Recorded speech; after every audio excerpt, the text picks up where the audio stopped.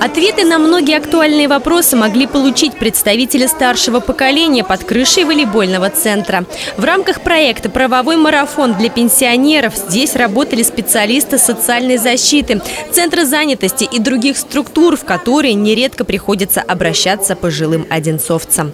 Участники марафона – это профессиональные специалисты с руководителями от пенсионного фонда, налогового органа, органов социальной защиты, аппарата уполномоченного, юристы а, и МФЦ, то есть Центр социальной занятости, а, который сегодня нам принесут очень много новых подарков в виде вакансий для наших пенсионеров. Представители Центра занятости населения не только знакомили гостей марафона с предложениями рынка труда, но и пригласили волейбольные непосредственных работодателей. Цель номер один – помочь пенсионерам в трудоустройстве, а также развенчать миф о том, что возрастных специалистов не берут на работу. От генерального директора, ну и до неквалифицированных квалифицированные дворники, уборщики, как говорится, и подсобные рабочие. Ограничений нет. Главное зависит да, от желания граждан трудиться, чтобы они были трудоспособного возраста.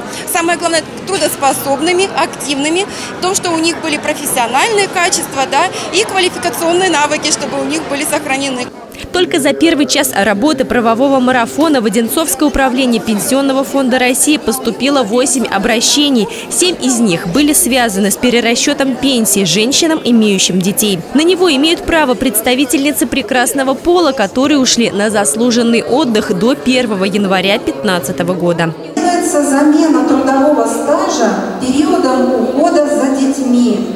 И вот эта замена позволяет увеличить размер пенсии баллов. С мая этого года во всех поселениях Одинцовского района сторонники партии «Единая Россия» читали лекции на тему «Защитим старшее поколение от мошенников». Ирина Гайворонская, юрист с многолетним стажем, признается, правовая культура в муниципалитете выросла, но об окончательной победе над злоумышленниками говорить не приходится. Мошенники, они не дремлют, они все равно этот вопрос держат в уме. И, как говорят правоохранительные органы, к сожалению, вот этой осенью у нас пошло осеннее обострение.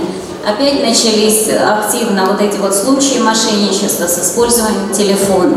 Поэтому правовой ликбез для представителей старшего поколения продлится не один день, а будет проходить в течение всего октября и ноября.